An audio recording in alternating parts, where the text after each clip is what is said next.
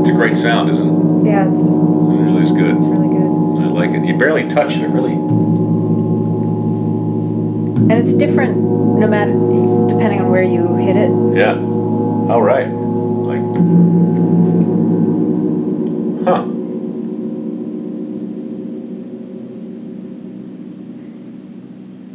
We done? Yes, sorry. You sure? Yes.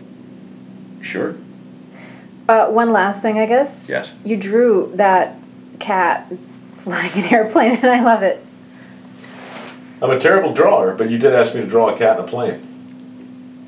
Do you think people would be interested in seeing me draw things? Uh, maybe they can say so in in the re- responses. Below. Hey, you know what? Uh, well, that could be interesting. I mean, we are on the verge. I'm on the verge of uh, doing uh, a number of things to raise money for the uh, mikeroweWORKS Foundation, and I wouldn't be beyond uh, personalized drawings and photos of those drawings and signing those drawings and sending them to people in exchange for uh, some sort of uh, heartfelt uh, financial remuneration vis-a-vis the mikeroweWORKS Foundation. I'll sort out the details later, but you know, something to think about, I guess. I would pay for a cat flying an airplane drawn by you. You are one wacky chick. hey, maybe one day I'll sell this. I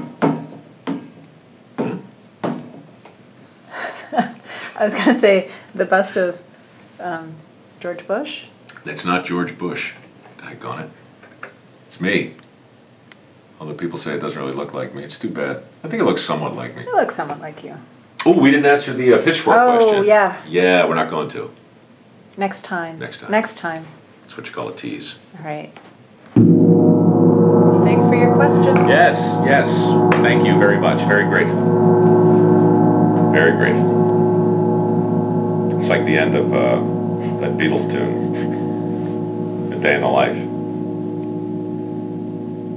Freaking endless chord. You really don't see the gong in a lot of uh, modern day television. Not since the Gong Show. They named a whole show after the Gong. Uh, that is one notable exception.